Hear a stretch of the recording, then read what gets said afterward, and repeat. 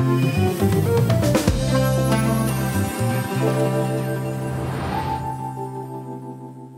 رجعنا لكم مرة تانية والحقيقة عندنا موضوع مهم جدا وهو عن التوتر. التوتر آه، الحقيقة سمة من آه، أيامنا كلنا.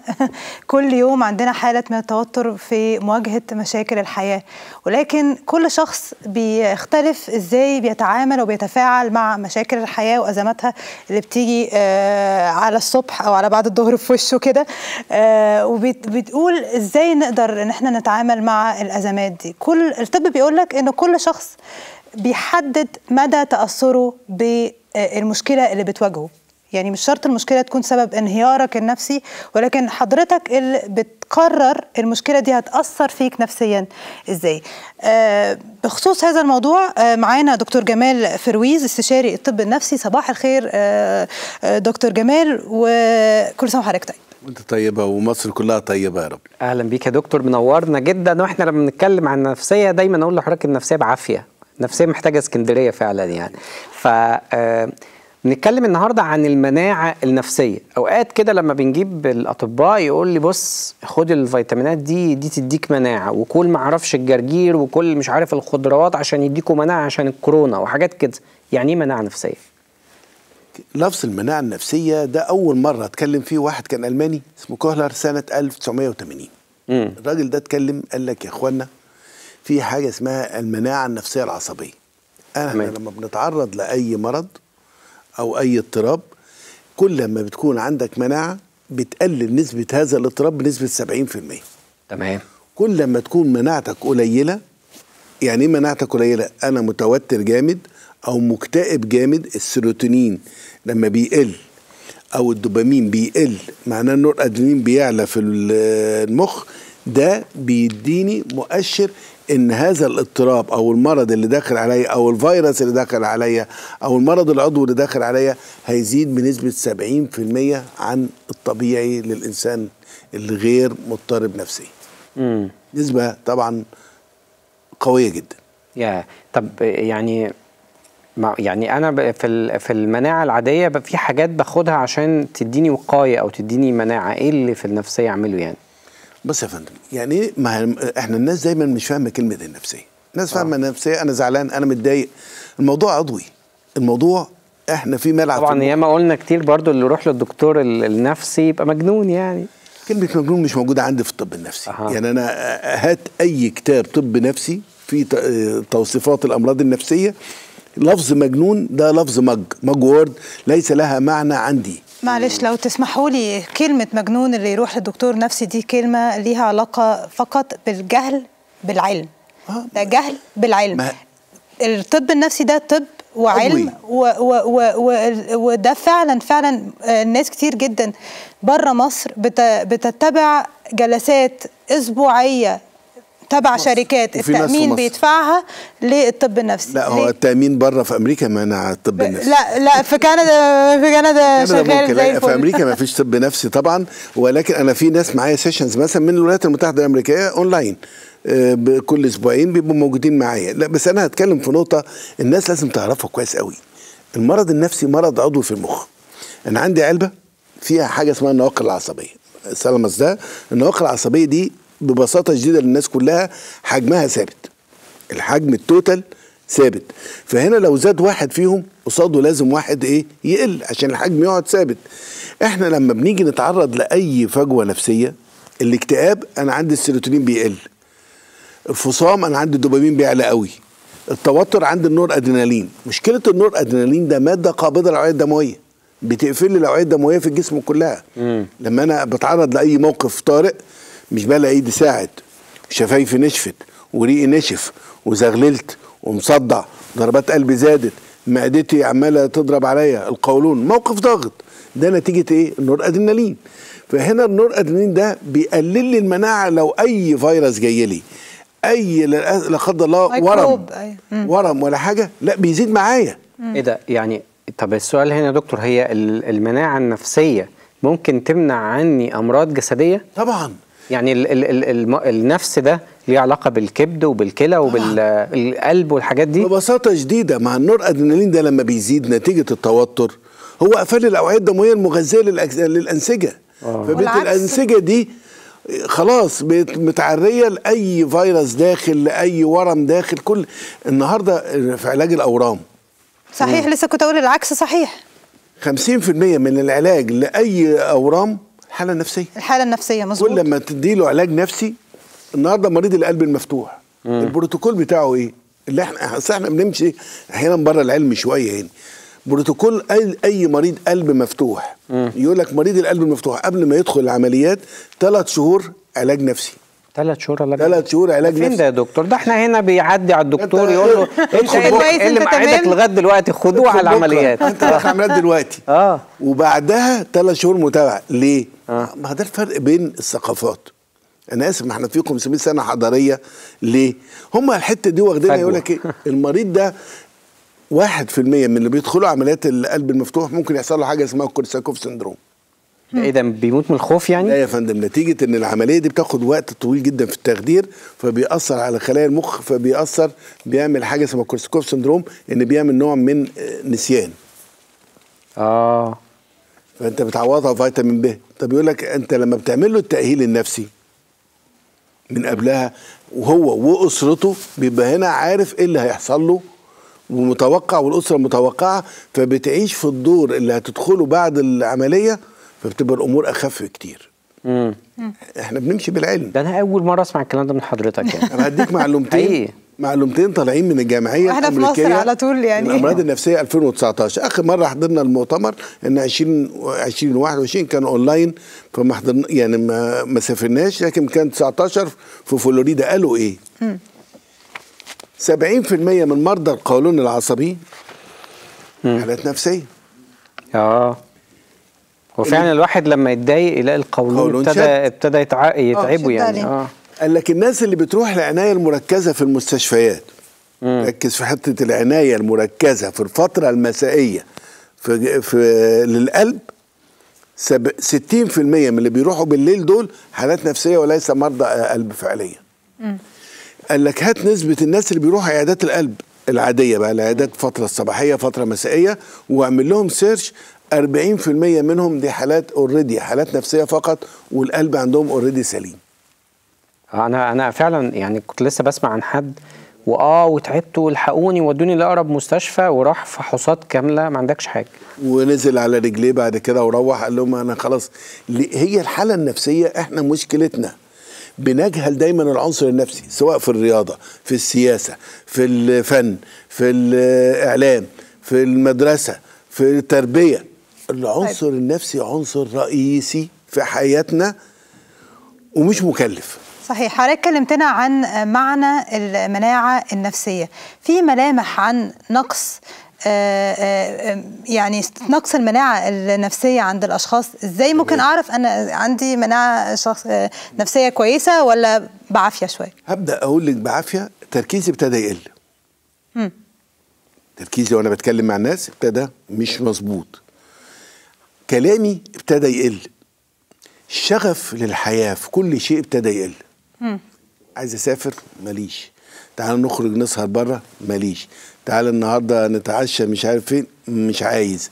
طب تعالى نتحرك مش عارف. آه، الكسل بقى والمشوار والشوارع كل ده. أول ما ت- الإنسان يبدأ يفقد الشغف تعرفي إن هنا في مشكلة نفسية. الحركة ابتدت تقل شوية. الكلام بتاعه ابتدى يقل شوية. وهو بيتكلم معاكي رد الفعل بتاعه أبطأ.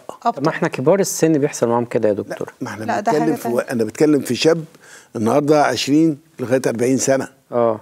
لكن من كبير السن ما هو ممكن أنا آسف كبر السن لا لما ياخدنيش دي دي إلا لو في عته يعني مشكلة مرضية. امم يعني هو كبير السن النهارده. هي فقدان ال- الشغف بال بال بالحياة وبالعمل وبالفسح وبالحاجات دي كلها دي علامة مميزة إن الشخص يعاني من مشكلة نفسية. سامسونج رونج.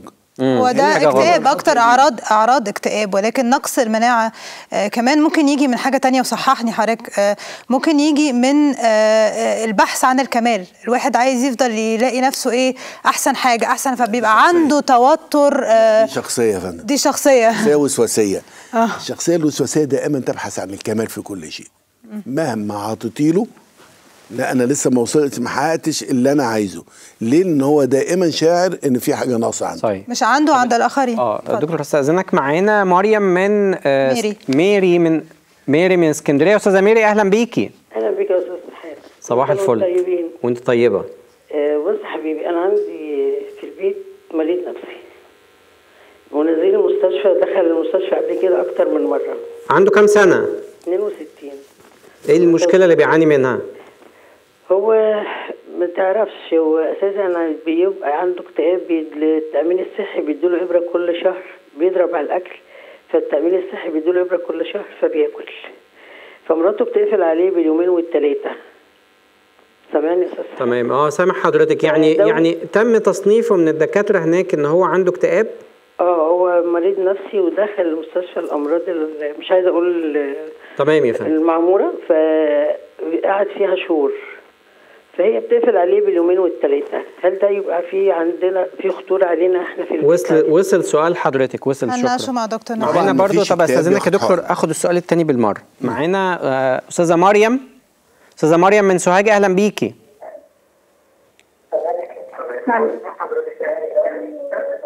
ألو.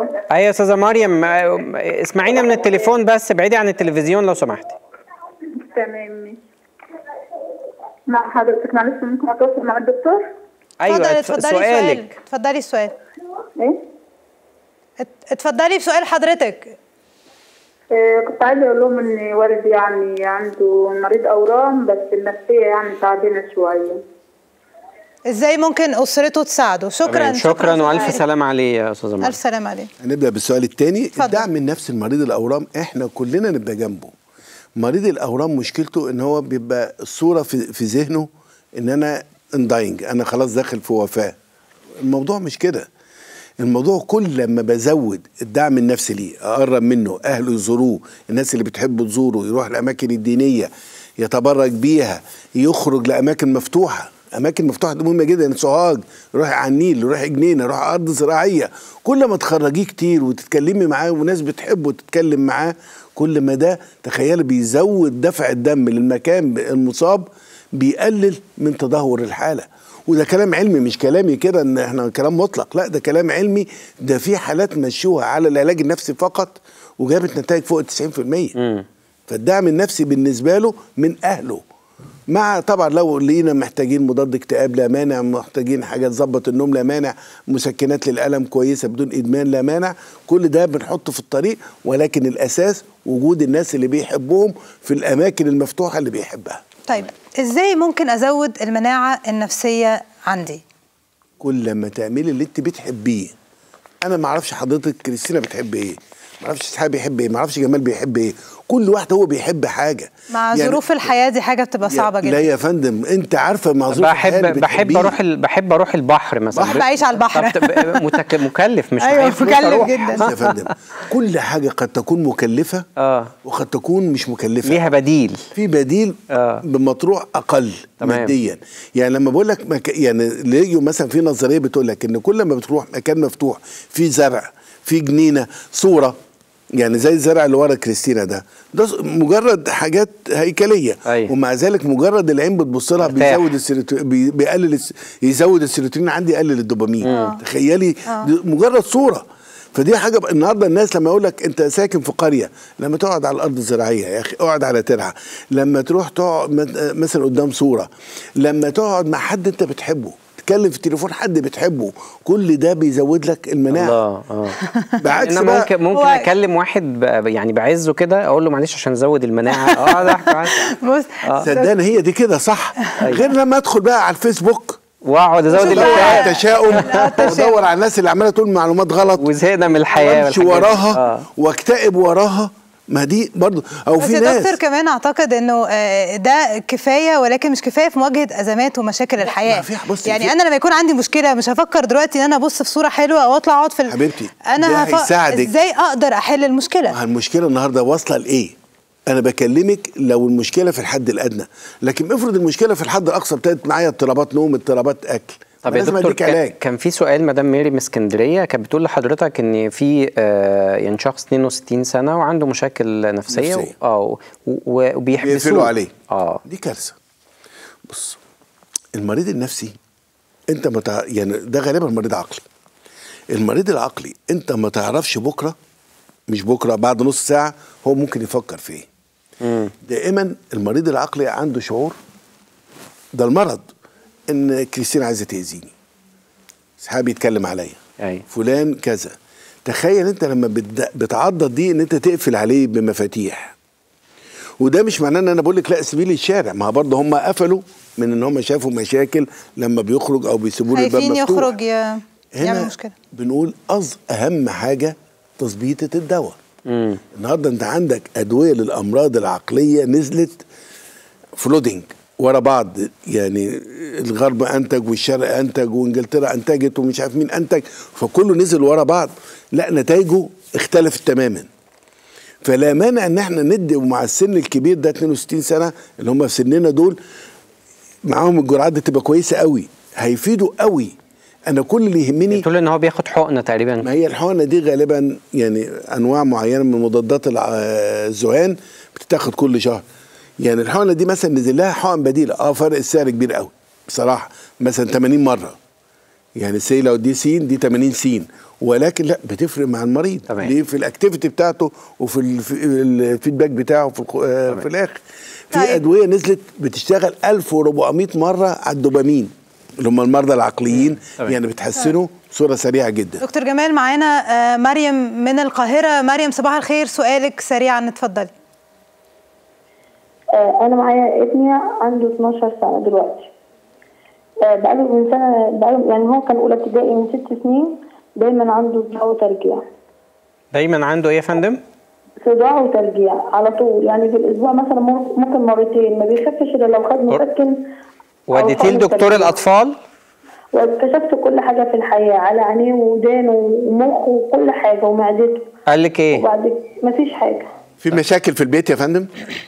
مفيش مشاكل عادي إحنا بنعامله كويس و- ومفيش انت وباباه. في المدرسة آه، لا، حد بيضايقه.